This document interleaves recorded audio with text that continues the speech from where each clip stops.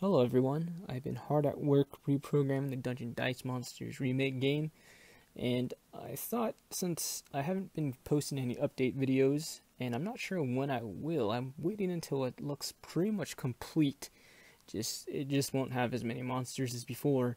But I was curious on your guys' thoughts on whether or not I should post my kind of like my progress on Twitter pretty much nightly uh, if I work on the game, that is. And I work on it pretty much almost five days a week now.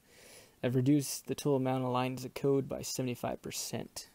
And the game performs much better and is way, way easier for me to work or, work with now than it was before.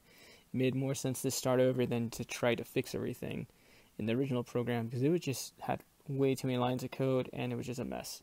Now it's more organized and just far easier and more fun for me to work with.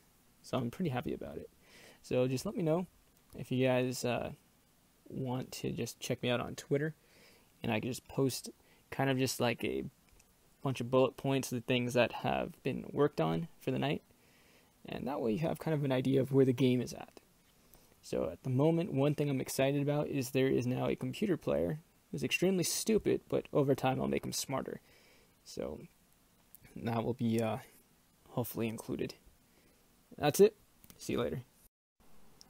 I forgot to mention that the link to my Twitter account will be in the description below, of course. So if you want to see the updates depending on what people say, then I'll start posting there. But that's only if I get enough people saying that they want me to do it. If like two people say it, then sorry, it's just it's just not really worth the extra time to post uh, progress updates for just two people, if you understand.